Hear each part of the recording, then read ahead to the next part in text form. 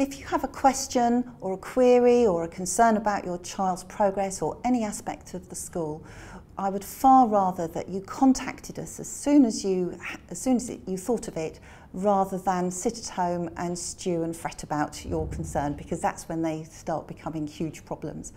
Um, we have a, an open access policy at the school and we really, really would like parents to phone us or email us or pop in and see us um, with whatever their concerns are, however big or small. Um, when you do phone us or contact us, we guarantee to get back to you that same day.